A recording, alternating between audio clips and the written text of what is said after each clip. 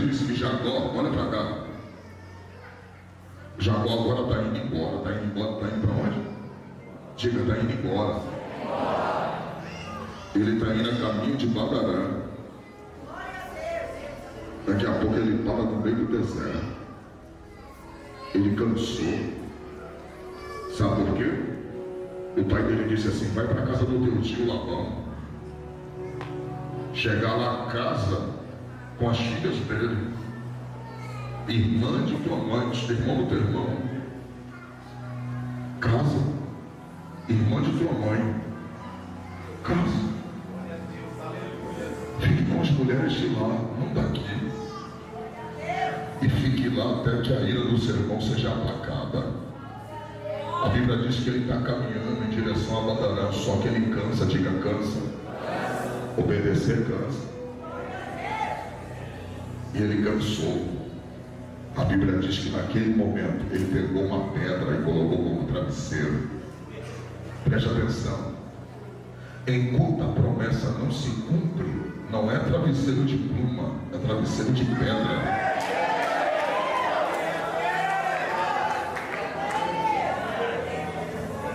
Tem gente aqui que tem promessa, mas tem um travesseiro de pedra.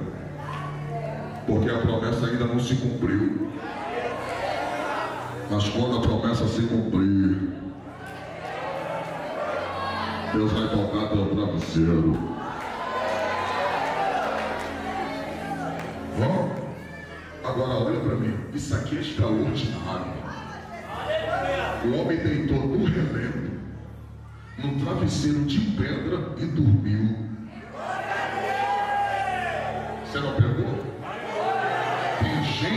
Tem dinheiro, mas não tem paz. Jacó não tinha dinheiro, mas tinha paz. E quando você tem paz, você dorme em qualquer lugar. Eita glória! Aonde chega, ela descansa. Descansa.